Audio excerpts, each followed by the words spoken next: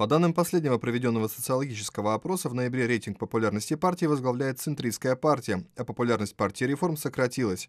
Если бы выборы проходили сейчас, то за центристов проголосовали бы 29% избирателей, а за бывших лидеров реформистов 21%. По словам председателя Центристской партии Юрия Ратаса, это значит, что партия находится на верном пути. Также полагают и его соратники. Однако дальнейшие рейтинги, очевидно, будут зависеть от того, насколько в коалиционном договоре отразятся обещания данной партии в оппозиции.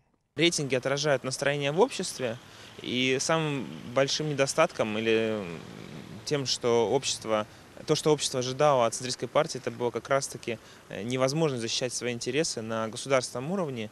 И сегодня, скажем так, когда мы двигаемся э, в сторону правительства, то это объективно отражает э, то, что люди ожидают от нашей партии. И, конечно же, все ждут каких-то определенных перемен, перемен и в налоговой системе, в сторону, больше в сторону справедливости, и перемен в социальной политике. Создание нового правительства могло положительно сказаться и на партиях из прежней коалиции. Так, например, партия ЕРЛ показала свой лучший результат за год.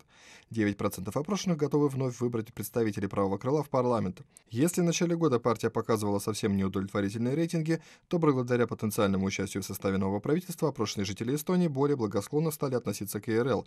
По мнению самих членов партии, это не связано с грядущей сменой в верхах.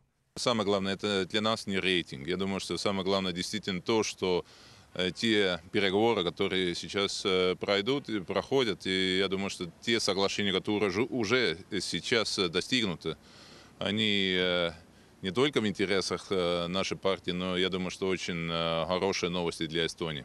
Однако стоит учитывать, что события в парламенте и Доме Стенбека усилили потоки информации по всем СМИ, тем самым и подняв рейтинг партий. Ведь если о партии не упоминают, общественное внимание к ней падает.